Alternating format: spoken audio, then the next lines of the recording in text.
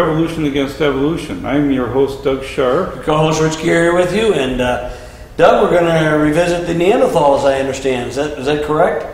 Well, I was uh, trying to come up with a show to title tonight, and uh, what I was doing was I was going back through a lot of our old shows, and I was wondering, well, what haven't we talked about for, For quite a while, and this is one a of them, yeah. And th- this was something that uh, actually came up uh, about 20 years ago in our um, discussions on the internet. When I first had our internet website up, uh, I had a uh, guy uh, uh, question me about something I had in my book. It was Yeah. about uh, uh, mention that I uh, had uh, in the ape man uh, area about uh, uh, Neanderthal being found uh, uh, with chainmail armor. This was your book, first book, the Revolution Against Evolution book. Right. This when when did you first write that book, Doug? That was back in 1986 was when the fir- yeah, uh, first public, first pub, yeah. first edition was published, and then it was revised in 1993. And someone uh, asked asked me, well, um, what reference did you use uh, to come up with that uh, information? And I had to uh, go back and remember because back in 1986, uh, that's when I first had it in the book, and I Mhm. said, well, that was 10 years ago then that I had written about it, and I said, well, what, what reference did I have there? I remember it was in a, uh, in a uh, video uh, by uh, Dr. Michael Girouard called Ape Men, Monkey Business, Falsely Called Science. Science. And that, that was, um, uh, that video came out uh, in the late 80s and early 90s. Right. And so I, I, I then asked the question, well, where did he get his information? And uh, I had, uh, you know, on the, in the on the internet there was, uh, I had just joined the, uh, the Creation Research Society network of, uh, Right. uh, you know, the email server that they have, and they were, they said, well, you know, I think that uh, that originally came out of Ian Taylor's book, In the Minds of Men. That was a good book. I remember that. And we met Ian Taylor many years ago at a, at a creation convention. It was down, down downstate New, uh, Michigan here. I, I think it was. I think it was, that was in the Pittsburgh uh, Creation Conference. it Pittsburgh? I don't remember Conference, uh, International Conference of Creations. when Did I we remember did that? I know, I know, I met him, but I thought it was down in Michigan. But Oh, it- it- it- it- either way, so Ian Taylor is where the first reference, published reference in, in recent times, came from. But you, you've done some more research on it after that. But uh, Well, the, the question then was, well, where did Ian Taylor get his information? And uh, he actually had to go, you know, I, I uh, emailed him and I asked him, well, well, where'd you get this information? He said, well, um, this was uh, published in a, um, in a Nature article, uh, and the publication date was uh, uh, April 23rd, 1908. 1990, right? Yeah. And so this was a, a real old reference, and so the question, well, um, uh, then, uh, and, and he actually sent me copies of, of the references. Okay, so he actually had it. had photocopies Okay. of it, and I'll, I'll read them, they're kind of short. It says, in, in the February issue of the Bulletin International of the Academy of Sciences of Krakow, Mr. K. Stołyhwo describes a human skull dating from the historic period, which presents strong indications of close affinity with a, Spee Neanderthal type, so-called Homo primigenius of the uh, Paleolithic epoch. The skull, it appears, formed part of a skeleton from a tomb in which was also buried a suit of chain armor, together with uh, iron spearheads and so forth. In the great uh, development of the supraorbital ridges and the notch at the root of the nasals, the skull, which was found at Nowolskio Skova, or something like that, uh, closely approximates the Neanderthal type. It may be added that in view of Professor Sollas' recent, recent reference to the later to Australian stock, occurrence in the Eastern Europe of the late survival of the same type is a matter of profound interest. Okay. And so the article is called Late Survival of the Neanderthal Type. And so it, here's the deal is that this skull looked Neanderthal enough uh, that uh, they uh, wrote an article about it and said, well, uh, here uh, the Neanderthal man survived uh, until modern times. Well, that that sort of uh, is presents a paradox for evolutionists, and I Yeah, but it also it can uh, could prevent or uh, present some problems for creationists as well if you subscribe to uh, Jack Cuozzo's book Buried Alive. We'll get to that maybe later on, but but because if it survived to modern times, then that means that those kinds of features can develop eh, with not that many years. Okay, in other words, those kinds of Right, features. Uh, but either way, Doug, I, I guess the thing is, before we go into all the issues with it, but um, have they ever been able to track down the actual bones that this guy made his his uh, his, his diagnosis from? Now, from what I understand, the, the actual bones uh, got lost uh, in the rough Russian takeover of uh, Poland. And, You know, and, and I tell you what, you would be surprised, maybe you wouldn't be surprised if you know anything about academia. Stuff is getting lost all the time. I still think of the famous uh, apatosaur brontosaur thing, uh, year where the skull have, had the wrong skull for 90 years because the, the, the, the original skull, I don't know whether it had actually been lost, but it was in another part of the basement uh, of, the, of the institution, and it wasn't until 90 years afterward that they put the right skull on it or whatever. And so, uh, and that's not the only. There are a lot of things like that. These these halls of higher learning, if you will. These uh, these these education. I know. I, I work for a museum, and it's easy to misplace artifacts, Doug. Let me tell you. And one of the big things that happens is you have numbering systems, and then they'll change the numbering system, and they Oh, don't change okay. the old system. So you got like right now, even in our museum where I work at, there's probably there's three or four different numbering systems. What a pain in the neck! And you imagine an institution like the Smithsonian or some of these Oh, other yeah. ones in, in Europe, it's, it's really bad. Uh, and they'll miss, they'll put something down and lay it down, and it's it's lost. Um, I guess we should talk about that. I had a little model of a Neanderthal skull we are going to show you, and I can't find those in my own house. Yeah. So that ought to tell you something about misplacing. And that's not even an artifact, but it does happen. So that does, that does not surprise me. But it's very frustrating when you see that happen, especially when you want that particular piece of information. Um, it's probably laying around somewhere, but who knows where? And that's why a lot of modern researchers, they are such sticklers for provenance and, and record keeping and mapping when they when they when they find the original.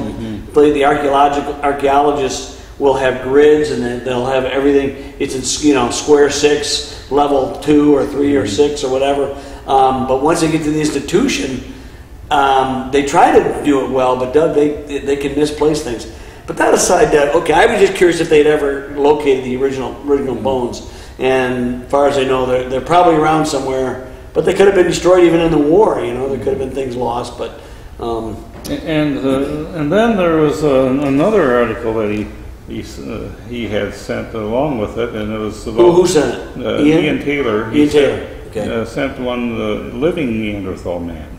And this was Nature in London, December 8th, 1910, volume 85, page 176. And it says in this, the, the, in the Philippine Journal of Science for June 1910, Dr. R.B. Bean of the Anatomical Laboratory, Manila, reports the discovery of a living specimen in the island of Yeah. Luzon, which he believes to be uh, bear a close relationship to the Paleolithic type represented by the Neanderthal skull. The massive lower jaw with a square ramus and reading chi- uh, receding chin, the low cephalic index, heavy brow ridges, rounded orbits, and large na- nasal apertures, and high nasal index, combined with a small stature, muscular frame, and short femur, all approximate to a form similar to the antediluvian man of Europe, Homo heidelbergensis. Uh, the Dr. Bean, uh, in the same issue of the journal, continues his study of the racial anatomy of the people of Taytay. Dealing here with the women, whom he finds to be more primitive than the men, and closely resembling the women of Siberia. The blend type is largely primitive in, in character. An Australoid uh, variety comes between the Iberian and the primitive. Notice how they use these couched words, Yeah. uh, these racist terms. Well, they weren't really couched back in those days. They were a lot, they were a lot less subtle than they are today, And- with all the stuff that's been terms. exposed with uh, social Darwinism. Yeah, they tr- they try to distance themselves with social Darwinism today. But I tell you, there was no such uh, no such uh, disguise back in 1910, Doug. And there was a, um, there's an article on our website uh, by Jerry Bergman. It's called "The History of Evolution's Teaching of Women's Inferiority," Right. and this re- sort of reflects uh, that type of thing that went on at that time. That uh, you know had the uh, a lot of people taught that the women were inferior to men. Less Darwin evolved. himself and uh, thought that, you know. and uh, you know he, he treated his wife that way, and and you know then uh, then there was a uh, another question that came up was uh, well do, it, does that original article still exist somewhere? hmm Uh, you know the the uh, Polish journal that uh, this article was in. Right. And, and so I had on my uh, website with this article a uh, question to anyone who was doing, who read the article. If you happen to find this particular uh, reference, you know, this particular Polish journal that they were talking about, uh, could you forward it to us? And uh, I think it was out there uh, maybe a year or so, and somebody actually did find that in Right. the University of Washington uh, library. And so uh, the original uh, article was in, uh, it's actually in a Polish journal, but the article is in French. Mm. Mm. And so uh, Ian Juby, uh, one of our friends uh, who uh, used to do a TV show like ours, but uh, uh, he's been doing other things lately, working on a movie. Uh, Yeah. He, he uh, took these copies and put them on his website. So if you if you take a look at our article, we have referenced that copy of that uh, uh, article uh, on the website. The only trouble is that it's in French. Well, we had uh, one of our other friends, Yeah. uh, Lawrence, Lawrence Tisdale from Montreal, translate this article into English from French. And basically, what it, what it showed is uh, this whole study, you know, of the measurements of the skull and It was pretty well done, yeah, as was- what I, what I could it's a see. pretty detailed Yeah. uh, type of thing. You know, the uh, the atheist who uh, challenged me on this, he uh, he uh, had uh, this uh, logic about it. He says uh, the account about the Neanderthal and chain, chainmail armor was uh, sketchy. And he says, well, number one, we know that Neanderthals did not survive into the Middle Ages. Oh, that's yeah, that's Uh, and yeah, so that's- we yeah. know that no competent modern researchers, if he examined the fossils, would make that assertion. Therefore, this is the case of an early researcher misidentifying a fossil as a Neanderthal. Okay, now we get to the crux of the matter, Doug. Why Okay. don't you address some of those things? And I'm saying, the, the second point, he's trying to, he's basically makes a statement, an assertion of the point he's trying to make. Right. That doesn't make it a proof. We find that a lot, of people do that a lot of times, so they use, He uh, assumes what he wants he to assumes prove. what he wants to prove. That's a logical fallacy. And then he appeals to whether or not something is true based upon uh, if a, a idea agrees with a modern approach. Right. uh, or modern research. And that, that is uh, a fallacy that I call uh, uh, chronological snobbery. Right, right. Is that your own coin? Is you coined that phrase, chronological snobbery? I like that from someplace. Yeah, I, see- I, I give that a lot, you know? But, uh, uh, you know, uh, it's also a appeal to tradition. You turn it the other way. Uh, and, and so uh, we've always done it this way. there's no reason for us to think. Well, then there's what I call the consensus approach. Everybody says this, Right. therefore it must be true. And that's, Mhm. when, when you're putting it out so bald-facedly, everyone knows, hey, I'm using the thing in reverse, everyone knows it's not true. You know, Mm-hmm. that we, we can point out one time after another where things that were once considered universally true have been now proven to be demonstrably false. Right. So that doesn't really make a, a proof uh, by that by that statement. But Doug, here, let's the thing. Um, we, we since we don't have the original bones to make a modern research, the actual article itself seems to be uh, very competent in what it was doing. I mean, from what what, what Exactly. you wrote in the article, uh, the measurements were taken at certain such and such a time. But let's um, why don't we address the point that, that you agree with the statement that it's a little bit sketchy, and we do agree with that. I mean, we're not going to say that a Neanderthal was found with chainmail armor until we find the actual skeletons, but that the article was there and that a guy b- believed it was true based on his examination, and the examination as it was written seems to be credible and scientific and uh, very much hol- holding up to modern standards of scientific inquiry, you know, and and uh, and uh, documentation. Um, so. Uh, barring that, we will say, okay, I agree with it. The, the argument is sketchy. But let's say, Doug, what if we could debunk the, the chainmail armor thing? Or what if we don't debunk it? What, what ramifications does that have for creationists or, not, or evolutionists alike? What do you think? Uh, it really doesn't uh, make a lot of difference, you know. And you know, one one thing is that uh, evolutionists shouldn't uh, feel threatened if the if it were to prove that Neanderthal evolved uh, uh, existed in re- recent times, because all you have to do is appeal to the same type of reasoning that they have. Uh, that uh, uh, you know, things like uh, uh, the, the coelacanth uh, was. Uh, And- and- oh yeah, I see what you're saying. Yeah. In other words, why do people people have come up? Why do we still have apes today? right. All the missing links are gone, except you got modern man and apes, which were so. Or and then, of course, part of it is I say, well, we didn't evolve directly from apes, an ape-like ancestor. Well, that ape-like ancestor came from an ape, and he was, and for all intents and purposes, some kind of a, an ape uh, creature himself. But all the missing links are gone. So yet we got the ape and us. So, and the same thing as coelacanth. Uh, uh, uh, that was an index fossil. It was a key fossil at one time. It still exists. All the missing links from coelacanth to to uh, r- amphibians to reptiles, they're all missing. So they, they they they seem to not have a problem with any of those things. So you're right. There wouldn't be a problem with that. It wouldn't really. If you found a Neanderthal in chainmail armor, it wouldn't really.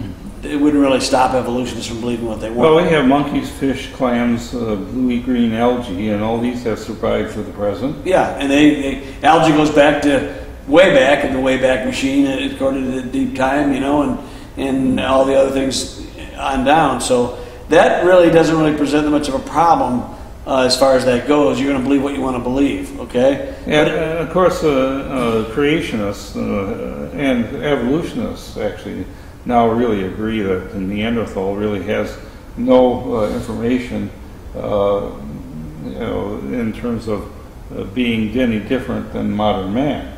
No, there's a few. It's a, there's a. It, it's like a variant uh, of modern man, or if you will, modern man's a variant of what Neanderthal um, might be. Might be like Neanderthal has. Well, same thing with with the with the skeletal the skulls of the Homo erectus skulls. There's an occipital bun. There's a little bump in the back of their skull, which we don't have in modern man. Um, but they have the brow ridges, which apparently this uh, chainmail armor the, the Polish uh, guys and these got brow ridges and that article in 1810 of those people. Of course, I don't know about you out there, but I, I've seen some people look like hey, some got some big brow ridges too. You know, big some beetle big beetle brow people. Yeah, But- I, I had a Yeah. chemistry professor that um, you know I thought uh, qualified. Yeah, but the reality is, a lot of us are so prejudiced Doug, by modern art, artist renditions or old artistic renditions of the brutish Neanderthal and, and the and then the upright, you know, the, the sophisticated Cro-Magnon, Cro-Magnon man. Um, but the reality is, there's the, the, the, cranial capacity of Neanderthal is actually of the skulls we have slightly larger than modern man.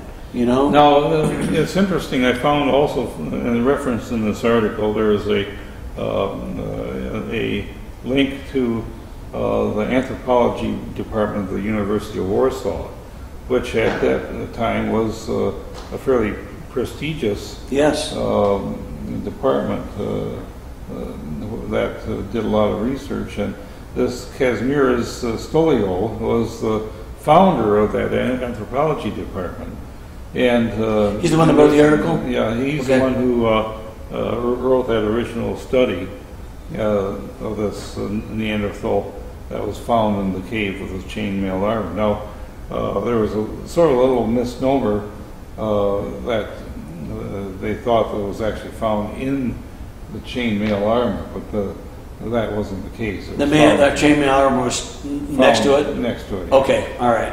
And it's also uh, found with these spear points and uh, other things. So, uh, but uh, we we do know that the chainmail armor wasn't invented until uh, into the uh, Yeah, when was that? Middle Ages or? Middle or- Ages. Yeah, or- was more prominent at that ti- Yeah. time. And so uh, that really gives us a, a little bit of a timeline of, when this person uh, probably died and, and was buried in this, in this Yeah. cave. Mhm. So, you know, I, I think that uh, uh, there is consensus between uh, uh, even evolutionists and creationists that uh, Neanderthal is still modern man and has nothing to contribute that much to uh, the idea of human evolution, except that the, uh, you know, there's a lot of still a lot of people who have uh, uh, used Neanderthal as a holdup, especially those who aren't really that educated about the Well, the fact of the matter is the most well documented of the quote primitive man skulls and fossils. The Homo erectus or the Homo habilis is really very. Not. You want to talk about sketchy? You know, it's kind of a. And we have Australopithecus, which is just simply an ape. Uh, so- It's really yeah. We've talked about Australopithecus. uh, Yeah. extinct ape, and do we know by its um, features? It's uh, uh, it was the tree climber and, uh, Right. and basically uh, swang from the uh, chandeliers. Or thing. Well, and, and, well, I'm not about chandeliers, but yeah, its hands and feet are more arboreal than modern chimpanzees. It's uh, curved hands and feet.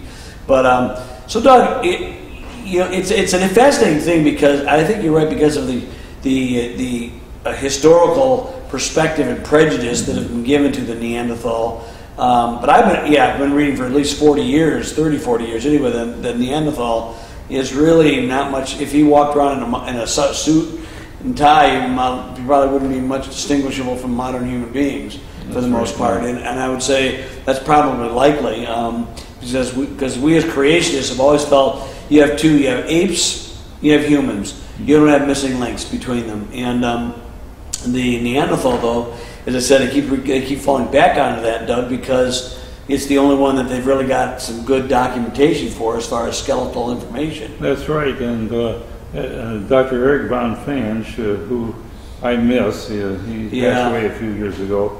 Uh, he uh, wrote an article uh, years ago called "Neanderthal, Oh How I Need You," and uh, you know, it told about how uh, Neanderthal has been debunked for many, many years, and yet. Uh, when we say debunked, not debunked that they're real skeletons, but debunked as a missing link for between Right. humans and, and modern man, or between modern man and, and apes. Okay, so go ahead. But uh, uh, the evolutionists need Neanderthal uh, as a uh, as an icon. You know, they need him to, uh, you know, as a, as a mechanism for the delivery of the image that they want to present. You know that, uh, humans are evolving from apes. And uh, let me give you this uh, one last time time's running, coming by. But what are some of the implications to creationists if this was a Neanderthal? You know, uh, I found in modern time. I mean, it's possible the chainmail was put there later on. Probably not likely. It's probably at the same time. Uh, it's uh, what are some of the objections I guess we could put into it, and what are some of the ramifications, some of the possibilities or problems uh, for us? I, I've I've thought, and we- I mentioned this, I alluded to this earlier, uh, Jack Cuozzo's book, which talks about the development of Neanderthal, looks like it's it's because of the skeletal brow ridging and some of this stuff that happens would have been happening to human beings that lived longer periods of time. We know in the Middle Ages they didn't live to long periods of time. Well, here's, here's what I have as, uh. Yeah, go ahead, go through your list. Analysis of this. Uh, here's, uh, here's the possibilities of what, uh, is gleaned from various hostile emails I've received. It says, uh, this, number one, this is a hoax that's uh, per- perpetuated by either me or Ian Taylor. You can Uh, believe this if you like. you know. Yeah, Uh, okay. But, uh, you know, the possibility of this is quite low. Uh, Number Like, low, two, it's pretty much nil. Number okay? two, the reference is sketchy and the original research still needs to be unearthed. This is a valid criticism, but now that we found the original research, uh, this no longer holds true. Now, presuming, number one, this is not a hoax, and the, number two, the article referenced the uh, research that was done, one possibility was that the researcher misidentified the skull as Neanderthal.